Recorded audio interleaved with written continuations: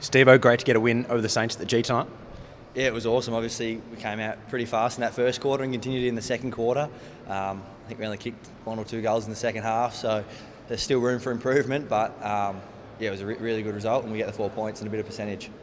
And you executed the game plan quite nicely um, to get that fast start. What was the message from Bucks after the game? I suppose after the game, he just said exactly what I said. Um, yeah, we played two quarters of our footy and two quarters of their footy, and um, the results obviously showed.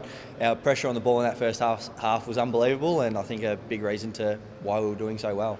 You made your long awaited return to the senior side tonight, snagged a few goals early. It must be good to be back.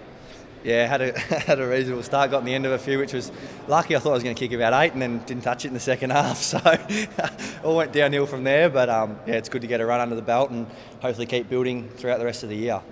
Good stuff, Steve.